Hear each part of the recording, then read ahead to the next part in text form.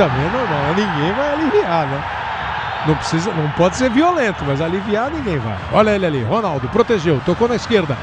Vem o cruzamento do André, o toque de cabeça! Gol!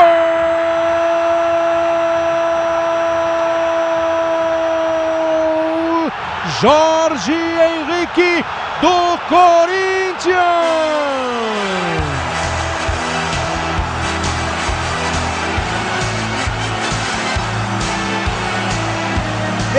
Fez o primeiro gol na final em São Paulo. Ele aparece de novo no meio da área. Vai lá em cima. Não é nenhum gigante, tem só 1,69m.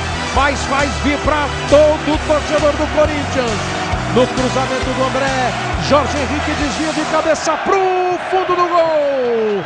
Jorge Henrique, camisa 23. É o terceiro gol do Jorge Henrique na Copa do Brasil.